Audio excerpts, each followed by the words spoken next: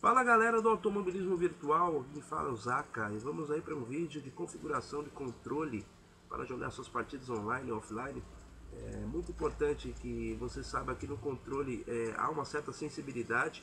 No final do vídeo eu vou passar para vocês um macete que interfere muito nas configurações que você faz de controle. De início a gente vai lá na, no menu principal do jogo, em opções, e depois, aí você pode configurar, é claro que configuração de controle, tanto a sensibilidade dele como de botões é, é uma coisa muito pessoal, mas vale para quem está iniciando no jogo agora. Eu criei ali uma, uma já salvei ali um pré-definido uma configuração e eu costumo ainda acelerar no R2, no L, nos gatilhos de trás, R2 L2, no Xbox RT e LT, mas também faço configuração de marcha, lá, aumento a marcha com X, reduzo marcha com quadrado, com o botão de cima. E vocês vão ver também mais adiante que eu faço a mesma coisa com aumento de RS e diminuição de RS. Pode conferir também nos playlists do canal.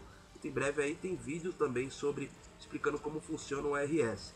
Coloco ali limitador de velocidade no box, também uso às vezes com o analógico, o analógico R, o da direita, para ativar e desativar, ou até mesmo o L da esquerda, você apertando o analógico para ativar. Agora vamos à questão de calibragem. Você tem ali vibração e força de feedback adiante, que é para volante, tá galera? Não adianta mexer que é para volante. Mas os atalhos de volantes no final do vídeo vocês vão ver que também pode ser importante. É, na calibragem aí do eixo de direção, onde você faz ali uma folga, né? Uma folga para quando você fizer um movimento muito brusco. No controle a gente faz um movimento muito brusco, às vezes de uma né, pegada, saída e na entrada de curva ali a gente faz um movimento muito rápido. Você às vezes precisa aumentar aumentar bastante aí o, a configuração. Eu deixo em 10, no F1 de 2018 eu deixava em 24. Agora eu tô reduzindo um pouquinho para 10 para o controle estar tá um pouquinho melhor aí. Você sente mais o carro, o controle vibra mais nesse F1 2019. Isso é uma das novidades. Na linearidade do acelerador, né, a como ele faz a curvatura ali do volante, o, volante do, do carro, enquanto você está fazendo o concurso no controle, eu coloquei 24 porque ali você vê realmente a, a, a extensão do volante do, do, carro e aí eu aumento um pouquinho para não ficar aquele toque-toque, né? Aquele, aquele tortozinho quando a gente jogava ali na cruz ainda, quando não tinha analógico nos controles de, de PlayStation 1, por exemplo. A linearidade do freio, o freio está muito diferente do outro jogo, a resposta dele está muito menor, né? E para você não travar quando você tira ABS, eu coloquei 24 também. Essas são praticamente as configurações que eu faço ali. Do volante eu não mexo nada, pode observar que no volante não se mexe nada, em força, vibração, feedback. É importante você ter ali o comando de vibração do controle, porque é o que te conduz ali quando você distraciona na curva, desgasta mais pneu. Você pode testar muito bem isso também no modo carreira, onde eles fazem o aprimoramento do carro. E ali é importante para você é, modificar. E o mais importante aí que eu vou falar para vocês no final do vídeo é, e também sobre esses botões. Às vezes você executa comandos aqui que já estão configurados lá na calibragem, no esquema de controles.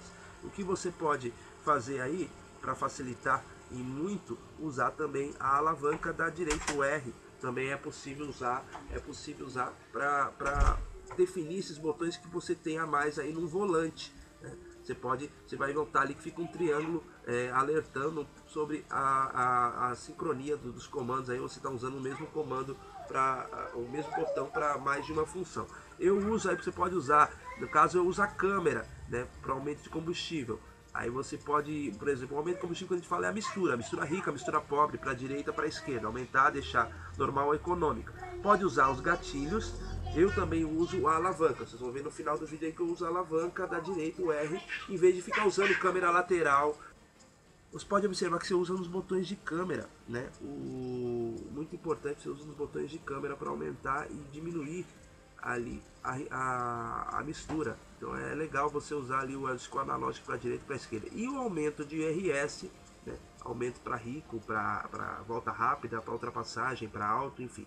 Para aumentar eu uso o triângulo e o círculo porque eu faço isso nas curvas. Então eu faço isso nas curvas. E para encerrar, galera, não adianta você fazer a configuração se você não deixar uma câmera adequada para jogar o jogo. Você precisa deixar uma câmera adequada. Se você colocar a câmera muito próxima, a sua sensibilidade vai ser diferente, vai ser muito mais rápido. Se você botar a câmera mais afastada, vocês vão ver no vídeo adiante que eu vou fazer de configuração de câmera do jogo.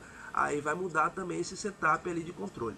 Isso que você precisa observar que é fundamental. É fundamental como você deixa a sua câmera. Dentro do cockpit, quanto mais próximo, mais zoom na câmera, mais sensível fica o controle. Quanto mais afastada, mais, ori mais horizontal você deixa a imagem, mais profundo, mais é, ela fica até distorcida na, na, na câmera do carro.